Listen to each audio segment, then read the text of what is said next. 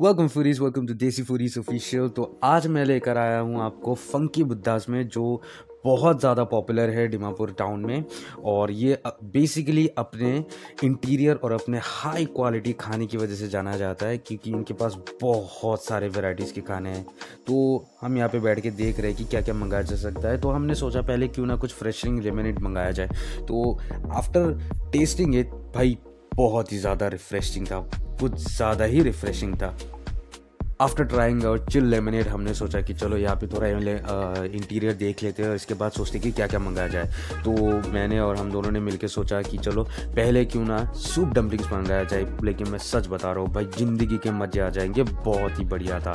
काफ़ी ज़्यादा टेस्टी था जूसी था even though their sauce was too damn good और इसके बाद हमने सो देख ही सकते हो ये ये मेरे प्लेटें सेट करने में रेडी है गया है सो आप देख ही सकते होंगे कि मैं यहाँ पे सूप ट्राई कर रहा हूँ कि भाई बहुत ज़्यादा बढ़िया था, बहुत ज़्यादा टेस्टी था।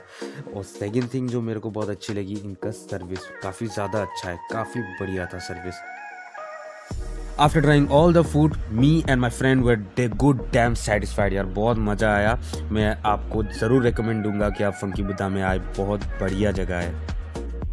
जो है, जो मैं, मेरे को बहुत ज़्यादा जूते पड़ने वाले हैं, क्योंकि इस वीडियो के बाद वो मेरी जान खाने आने वाला है, क्योंकि मैं ये सब बोल रहा हूँ यहाँ पे। ओवरऑल मैं फंकी बुद्धा को देना चाहूँगा एट आउट ऑफ़ टेन तो do guys check it out after checking out Funky Buddha मैं शाम को पहुँच गया था टेस्टी बर्ड्स को, क्योंकि मेरे को काफ़ी ज़्यादा रिकमेंड्स आ रहे थे कि टेस्टी बर्ड्स में कहीं क्यों ना क्यों वीडियो की जाए बिकॉज़ इट्स वेरी अंडर भाई, बहुत ज़्यादा अंडर है।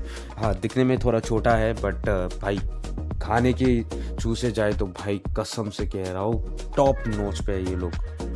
चीज़ें जो इनकी प्लस पॉइंट है वो है इनका फ़ूड लेकिन अगर आप मतलब एक डेट के लिए आ रहे हो या फिर आपने आप किसी को आ, ले घुमाने के लिए ला रहे हो then this this place is not for that this यहाँ पे आप आ सकते हो फैमिली के साथ आ सकते हो क्योंकि बहुत ज़्यादा टेस्टी है यार खाना इनका कुछ ज़्यादा ही टेस्टी है। हाँ आपको ड्रिंक्स भी मिल जाएँगे बेवरेजेस मिल मिल जाएँगे हाँ अवॉइड बैकग्राउंड के अवॉइड कीजिए बट हाँ काफ़ी ज़्यादा बढ़िया है।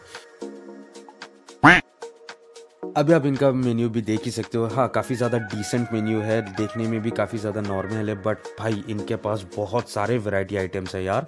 इंडियन भी है चाइनीज़ भी है इंडियन देर है सम लोकल्स भी है। तो हमने सोचा कि चलो क्या क्या मंगाया जा सकता है। हम दोनों डिस्कस ही कर रहे थे। इतने में हमारा पहला बेवरेजेस भी आ गया था।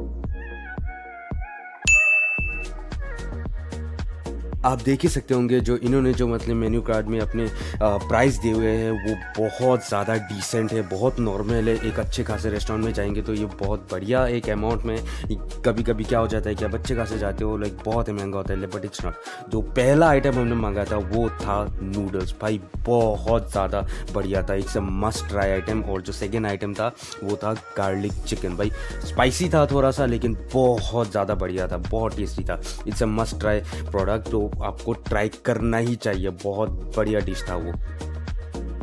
तीसरा जो आइटम हमने मंगाया था, वो था मटन बिरयानी, जो काफ़ी डिसेंट था। मतलब इतना अप टू वेल लेवल नहीं था बट यस फिर भी डिसेंट आप ट्राई कर सकते हो no doubt in that overall मैं टेस्टी बर्ड्स को देना चाहूँगा। 7.9 out of 10 So guys, do check it out, tasty birds and don't forget to like, share, and subscribe to my channel. Thank you very much. Come again.